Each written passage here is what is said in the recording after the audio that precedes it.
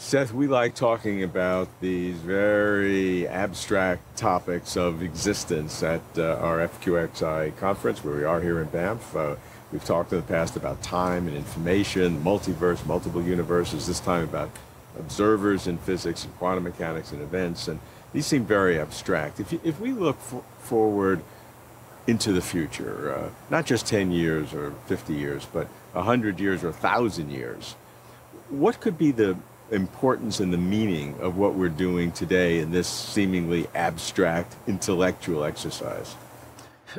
well, I think we'll find in the future that most of it was just a bunch of BS. but uh, but uh, uh, some of it will not be. And the some of it that is not will be very important. Um, one of the most remarkable things that can happen to science is it becomes engineering. Uh, right? I mean, if you look at, at quantum mechanics, you know, quantum mechanics of electrons and matter became um, the understanding of semiconductors, which became the creation of semiconductor amplifiers, of digital computers, which gave rise to a whole host of things that we would never ever have believed could have happened 50 your, years ago. Your smartphone, which is more powerful than a Cray computer in the 1970s. Yes, and in fact, capable of, of, of even bigger stupidity. Remember, one of the main things about artificial intelligence is it leads to real stupidity.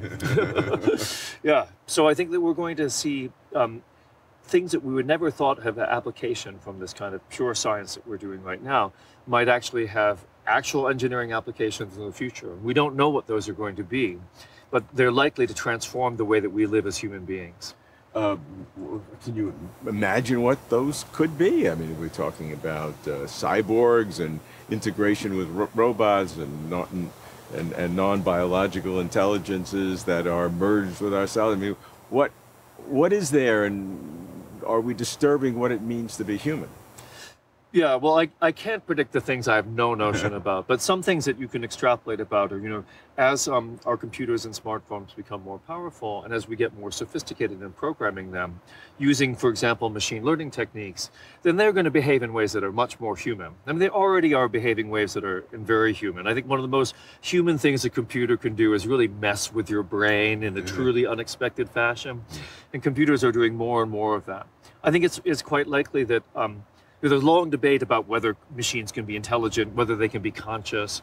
I actually think this debate is in some sense irrelevant because what's going likely to happen is that as they become more smart, better learning of what's going on with us, better interacting with us, we will simply treat them as conscious beings. You know, it's not once somebody says, "Hey, don't turn off my smartphone. It's got some thinking and dreaming to do." You know, at that point, it doesn't matter whether it's conscious or not. We're treating them as conscious. And, and, and what would be the impact on uh, uh, uh on humanity if, when that happens? Oh well, we'll have a new friend. Is that good or bad? Um, it could be good, it could be bad. And one of the actually, uh, there's a, a, current bunch of loose talk that from people like uh, Stephen Hawking and Elon Musk is that computers are going to take over the world and artificial, malign artificial intelligence will destroy humanity. I, I think this is just silly. I mean, um, what's first of all, we're way away from that right now, and rather rather simple precautions will prevent it from happening. Um, and also, really, you know, as computers get more powerful, they actually get more human in their ability to not understand what's going on, to fail to comprehend what's happening. What about beyond the engineering? What about the the the sense of, uh, of, of human existence in the great cosmos? So are, will we get to a point where we really understand more than we do now, or, or will the awe and mystery continue to get deeper?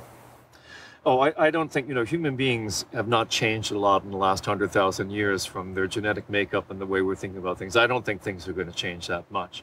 And actually, in some sense, you know, technology just provides distractions. It's not, mm-hmm. not clear that someone who walks around with their phone like this is leading a more spiritual existence than someone who walks around mm-hmm. taking in the beautiful water, the sun, the mountains.